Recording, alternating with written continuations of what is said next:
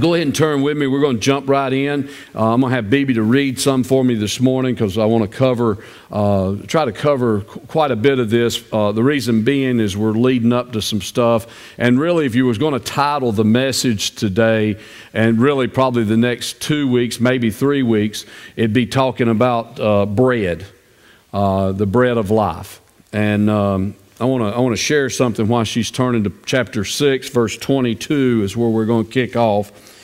And if I can find it right quick, I want to share something. Um, it, I, I, just I, sometimes you just Google things and you're just like, okay, there's a lot I know about bread, but maybe I can see something that I don't know. And um, one, and we're going to see this in the text, uh, but bread is, is a gift from God. It, when you see it in the Bible, it's a gift from God. It's how He sustained the children of Israel. And bread had such a huge part in the Middle East culture and in any culture that raises grain and that kind of thing. And, it, and, it's, and it's, it's a gift from God for the people that partake of it, but it's also agriculturally, it's a gift from God for the farmers that raise it. And so it's a big part of our life. Uh, I'm talking about on a natural level. We know on a spiritual level, Jesus is the bread of life, and he compared himself to that. Uh, when Moses fed the people in the desert with food which fell from heaven, and also we see that as an example, and we're going to see it in the text, is Jesus also used it as at the Last Supper. And he went a little deeper. In the text we're going to cover today, we won't get that deep maybe, but, but next week we'll look into it a little more. Um, when Jesus multiplied the bread to feed the crowd, the bread became a sign of sharing. It also symbolizes the Word of God, which nourishes us spiritually. So, bread has a lot of meaning to it. Uh, either next week or the following week, we'll be uh, partaking of, the, of communion, the Lord's Supper. And when we do, we'll be talking about what the bread of Jesus, Jesus as the bread, what that really meant to us as believers. But as for today, let's jump right in. Uh, verse 22, John 6, and I'm going to have Bibi to read down to verse 20. Uh, stop it after you read 25, please. That's fine. I don't care. It don't matter. Whichever one, which one you're reading from, New King James? Yeah, that's fine. On the following day, when the people who were standing on the other side of the sea saw that there was no other boat there except that one which his disciples had entered, and Jesus had not entered the boat with his disciples, but his disciples had gone away alone. However, other boats came from Tiberias near the place where they ate bread after the Lord had given thanks. When the people therefore saw that Jesus was not there, nor his disciples, they also got into boats and came to Capernaum seeking Jesus. And when they found him on the other side of the sea, they said to him, Rabbi, when did you come here? Okay. Jesus. That's, that's, good.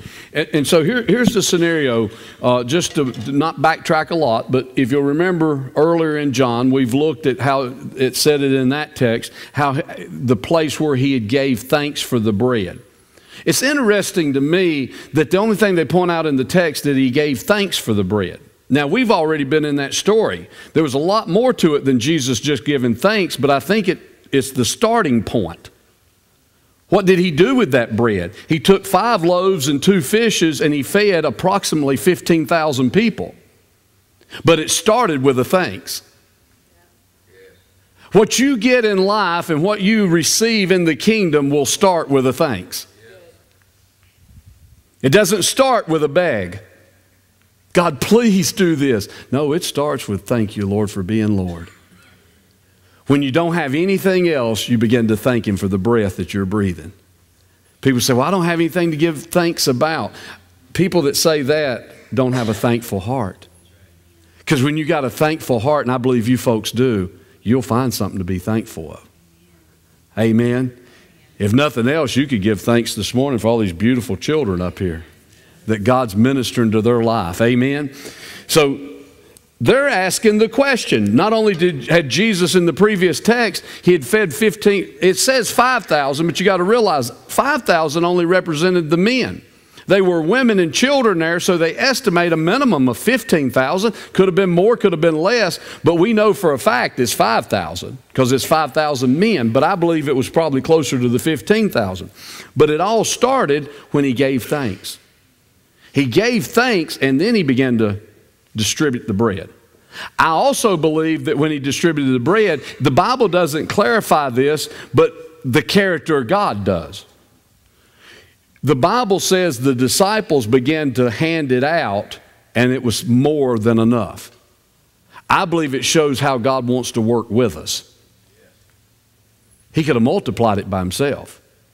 I believe he used the disciples as part of the multiplication, just like he does today. Same character, same God.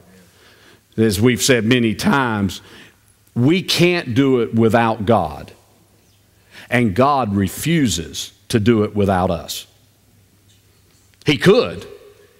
It's a partnership, is what I'm saying, and that's what he wants to keep doing. Also, in the previous text, and this is where we're at right now, the people said, How did you get here, Jesus? My translation said, How, Where did you come from? He wasn't on the boat with the disciples. Good question, isn't it? You remember the answer. It was when the sea was rough and they were being tossed to and fro on the Sea of Galilee. And I mean, the storms come up so fierce because it's 650 foot below sea level. So, I mean, this thing just came on them. And here comes Jesus at 3 o'clock in the morning walking on water. Uh, get that picture. Three o'clock in the morning, the boat's about to be turned over, and here he comes walking on the water. And at first they were scared. They said, It must be a ghost. He said, No, it's me. It's me. Peter said, If it is, tell me to come out there. Jesus said, Come. And Peter walked on water. Now, I know a lot of preachers and a lot of people over the years, they really give Peter a hard time because he sunk. And they also elaborate that Jesus saved him. I don't disagree with that at all. But I want us to keep focused on the fact he stepped out and walked on water. It's not something to make the story good. He done it. There was a human, two humans. One was Son of God and the Son of Man, Jesus, but then there was all man, Peter, and they walked on the water. How could we doubt that he'd look after us? Amen. He's got you. Now, Jesus, I'm going to have to read. They're asking a question, not just to back up. They're asking a question where did you come from? Now, I want you to listen closely to what Jesus asked them. Jesus answered them and said, Most assuredly I say to you, you seek me not because you saw the signs, but because you ate of the loaves and were filled. Do not labor for the food which perishes, but for the food which endures to everlasting life, which the Son of Man will give you, because God the Father has set his seal on him. Then they said to him, What shall we do? that we may work the works of God. Jesus answered and said to them, This is the work of God, that you believe in him whom he sent. All right, hold on just a second. Now, get this picture. They asked Jesus, Where you been? They were trying to locate where he's been, and through the Spirit, he located where they were at. They weren't looking for him just to find out where Jesus was at. They were looking for him because he had fed them. What am I saying? Sometimes we look for Jesus for the wrong reasons. And we don't get what we really need. Make it your heart desire to, to make Matthew 6:33 just a staple in your life. Seek ye first the kingdom of God and his righteousness, and all these things will be added to you. I love simplicity. I'm a simple guy. That tells me if I will seek him, I can go back and read 33 back up all the way to verse 25, and I can find out what he's going to add to my life if I'll just seek him. When I first got that revelation back in 1996, I'm like, I'm in. I can do this. I may not do it properly. I may blow it. I may miss it. Thank God for His grace. I didn't earn it. I didn't deserve it, but I got it. And I can seek Him. You say, How do you do that? Well, you're doing it right now. You want to know what he's saying. You'll do it. You'll do it tonight when you pray, or you'll do it uh, tomorrow morning when you get up and have a quiet time with the Lord. You're seeking Him. It's not above you. It's not too far out there. We church so many times put in religion and made it difficult for people to reach God. God understands any language that you speak. And you can talk to him about anything. And you're not going to catch him off guard. He's all knowing. He said, Look, y'all are looking for me, but the reason you're looking for me is because of the miracle. Now, I think, I don't know if it said it in the King James. Let me look here just a minute. Um, no, keep on reading. Uh, I, I, do want to drop down on verse 29 and read from the New Living, and I, I think it's a, pretty close to the same uh, translation here. This is the only work God wants you from you. Believe in the one He has sent. You say, that's all we got to do to get to heaven. Whosoever believes on the Lord Jesus Christ and confesses with his mouth shall be saved. Wow. We've built a lot of buildings. We've done a lot of things to confuse that very simple message, haven't we? I know when I was growing up, people say, you got to do this, you got to do this, you got to do this. What they should have been saying is, you get to do this, you get to do this, you get to do this. Jesus said, the only thing you've got to do if you want to make heaven your home is believe on the Lord Jesus Christ. All the other things are fringe benefits. I get to preach the gospel. I get to, to try to be the right dad, granddad. I get to try to live in his kingdom. When it says seek his kingdom first and his righteousness, you could also insert from the original Greek, you could insert his way of doing things. He has a righteous standard. He has a way of doing things. His way doesn't compare with the way of the world. The simplest revelation I ever received about that was when it came to money.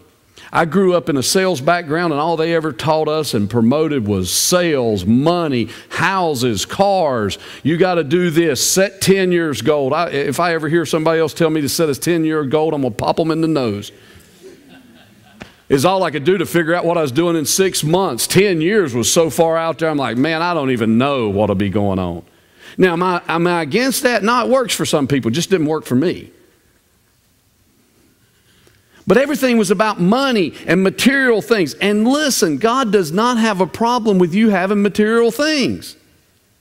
And He don't really care how many material things you have, as long as none of them have you.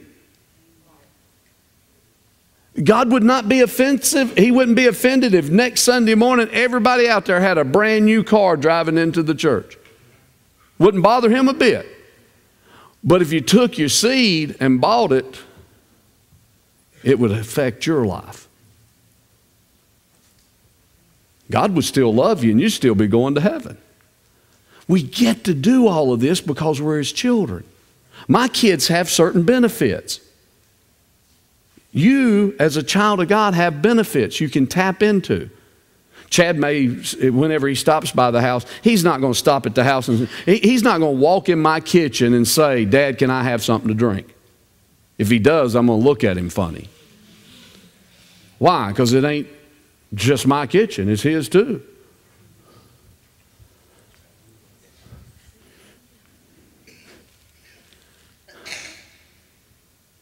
What the Father has is yours.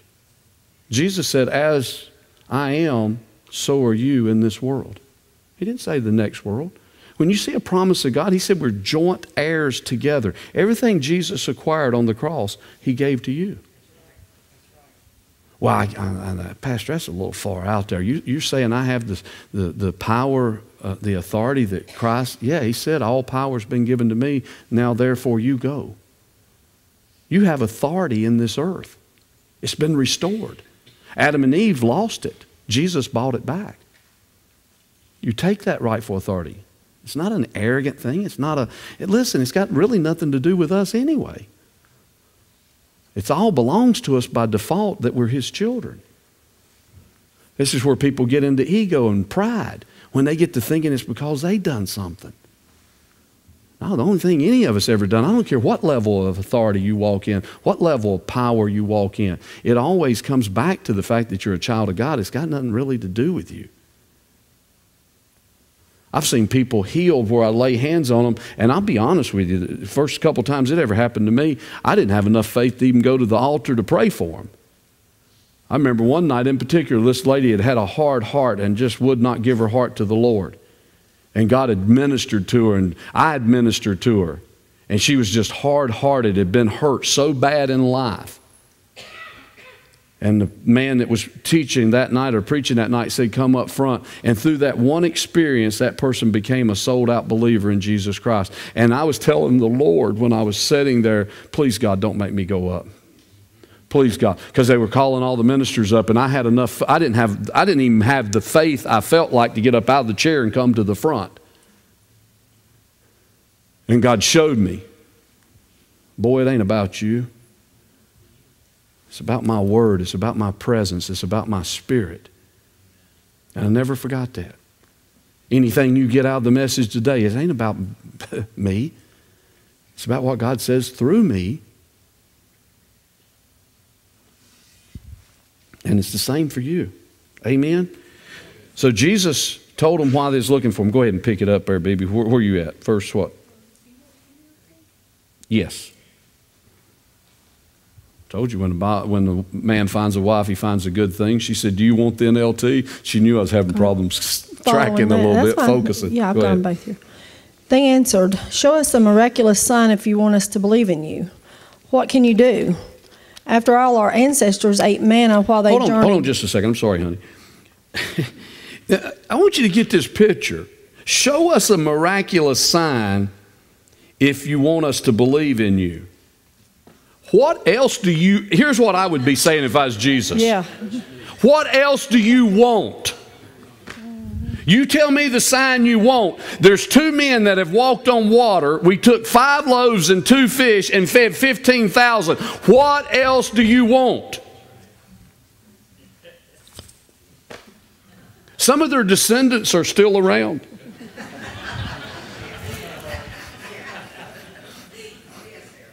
I've met people. God saved them from a, a, car accident or he's, he's done something so supernatural they can't explain. And then all of a sudden it's like, God, show me something else so I'll believe. Get off of that.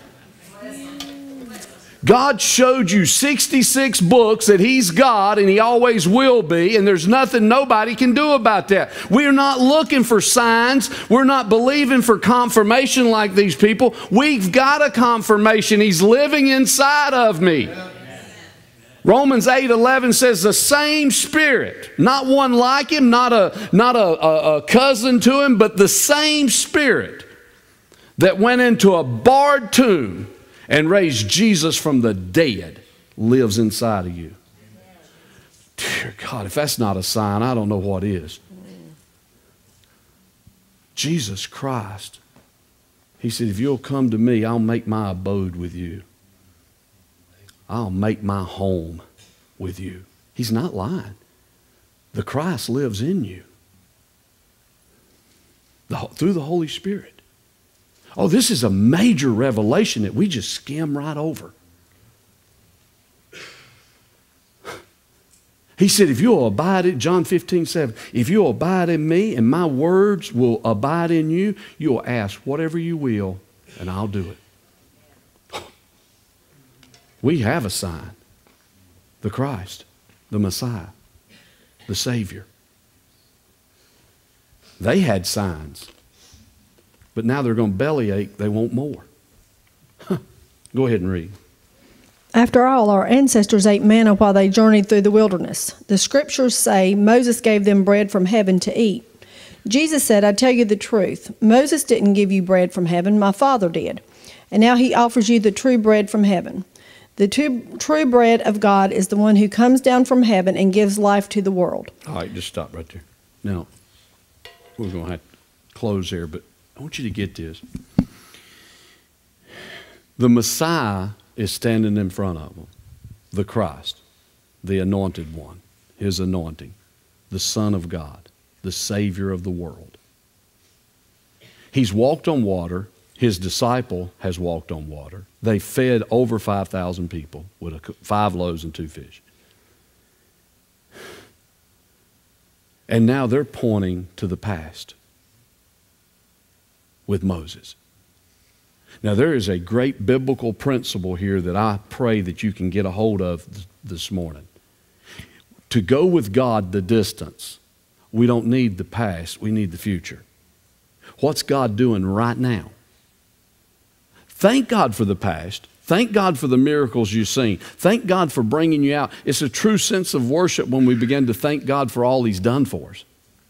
I'm looking around the room. I see many of you that I know, and, and many of you, many of you knew me back then, and I knew you back then. We've come a long ways. Yeah, go ahead and give my hand. Yeah. We've come a long ways, but here's the cool thing about it it was because he brought us. They were still looking to Moses and that old sorry bread that they were having to deal with then. The bread they dealt with then, they murmured and complained about it. What did he do? Here's what the children of Israel said. What did he do? Bring us out here so he could kill us where we don't have no graves? I mean, there's bread falling from heaven every morning. God's sustaining them, and they're, they're cursing God. They're not curse words like what we're used to in the Western world, but they're bringing down curses on themselves. They're saying God's not sufficient, and He's feeding them every day. Now they're taking that same experience, their ancestors, and saying, Yeah, but Moses fed us. And they forgot to remember that the whole time Moses was feeding them, that it was God. Not only that, they forgot to remember that the whole time God was feeding their ancestors, they was complaining about it. Jesus opens up a new covenant. Oh, I'm going to give you bread. And we ain't even went there yet today. I'll go there and close it. Not only did he feed the 15,000, 5,000, 15,000, whatever it was, we know for sure in the Bible 5,000. But again, I believe women and children were there, so they estimate a minimum of 15,000. Eh, Jesus didn't stop there. He said, Now pick up the fragments. They walked away with more than they brought. Now, if you're a tither or an offering giver, you know this to be a fact. You can't outgive God. I know a, a, a, a well, Dr. Jerry Savelle, I, I, remember his testimony. Carolyn looked at him one day, and this guy was a body man in Louisiana, and God called him to preach, and they had to believe God for spare tires and had to believe God that their tires would stay pumped up. Well, Jerry got a hold of, of sowing and reaping and giving, and his wife looked at him one time. She said, "You got to get quit giving away cars and motorcycles. We're not building any more garages." Think about that. Think about that. You can't outgive God. I remember Thurman Smith back in the back there. Thurman's dad was my pastor when I was a little bitty boy. and I made that statement one night in church. I said, You can't outgive God. Thurman come up to me after. He said, I've heard that test. He said, I've heard that all my life. He said, the problem was I grew up in a church that didn't try. So it's not lip service. It's purposing in your heart to be thankful. That little boy gave his lunch. You realize how hard that is? He's a lad. What hope has he got to getting another lunch? The mental capacity to say, hey, there's a need. Here's, here's, here's my bread. There's that bread sharing thing. Man, can you imagine? I don't know where his faith is. The Bible don't talk about it, but it must have been pretty, pretty strong because the Bible doesn't say this, but I just know the character of God, and I can't help believe whatsoever a man sows, that's what he's going to reap. The boy sowed his lunch. I'm convinced he took 12 baskets home with him. You say, well, it's not in the Bible. I know. You can't disprove it. I can't prove it, so we'll just leave it at that. But in my heart, I believe that young boy went home with 12, 12 baskets. Why? Because whatever you sow, you're always going to have more than enough. That's why we sow. I don't want just enough. If I have just enough, I can't help nobody. If I've got more than enough, I can help somebody. This church, I give you the whole list there earlier. If we didn't have more than enough, how could we help these people? There's things that happened this week that I didn't go over in the list where we blessed people and done things that if we hadn't had it in the bank, we couldn't have. God's into the more than enough. He's not into hoarding, He's not into greed, He's in more than enough so that we can be a blessing. You are blessed to be a blessing. Amen. And I'm going to just close with that because this is one of them times I don't know where to stop, so I'm just going to have to stop. Amen. and I'm just going to have to trust the Holy Spirit that you got everything you needed. Amen. Y'all receive this this morning. Church, listen to me as we, as we dismiss. We love you. We thank God for you. And I want to tell you something as the pastor of this church. We're coming up on 18 years. It ain't going to be long till we'll be celebrating it. All my buddies around the country and board and everybody else that speaks into my life tells me the same thing. Pastor, your church is poised to take the community and to really go for it. And I'm telling you, we are. And I'm just thankful that you're a part of it. I'm thankful for those that are up here this morning, they're a part of it. God told me years ago, He said, I'm going to do something in your life. And I asked Him to. My prayer was real simple. It's been 18, it's been 20 some years since I prayed the prayer. Well, 18 really since I started the church as well, and I really got serious about the prayer. I don't even, I wasn't planning this. I told the Lord when I started, I said, do something in my life that there'll be no way I can take the credit for it. Man, He is faithful. I can be a part of it, but I can't take credit for it. You're sitting in a debt free building. There's been over a million dollars raised on this property to do what we do in church. Look around. It's a lot of money. It's a lot of money with a handful of people. God done something that I can't take the credit for. But I'm telling you, this next thing He's doing, He's going to raise some of you up. There's going to be people sitting here. I just want to prophesy for a minute. There's some of you sitting here right now. You didn't even know you were a leader in the body of Christ but God's speaking to you today. That's not, don't you rebuke that, what you're hearing. That's God. That's God. Some of you, some of you got spoken to when them kids was up here. You're like, I want to be one of them teachers that they remember 20 years later. That's not you. You've sowed your treasures. God's given you the desire of your heart. And he's going to honor your faithfulness. Barry, I don't, I'm not going to put you and Megan on the spot, but I'm going to say something. Barry's one of my closest friends growing up. For years we've known each other, haven't we? I leaned over at my wife this morning and I said, I am just so blessed by their faithfulness. I don't know, a couple months now, three months maybe been coming to this church and I see them every Sunday come up here. It's not about what they come up here and give, it's about the fact that they're encouraging their pastor by their faithfulness. See, when we are found faithful, we can trust the faithfulness of God. Show me an inconsistent person. Listen to me close, and this is not condemnation. I want you to hear me. I love you. But you show me a person that is inconsistent in their walk, and I'll show you a person that has trouble believing God's faithful. And this is, this is a, a psyche thing, this is a psychological thing.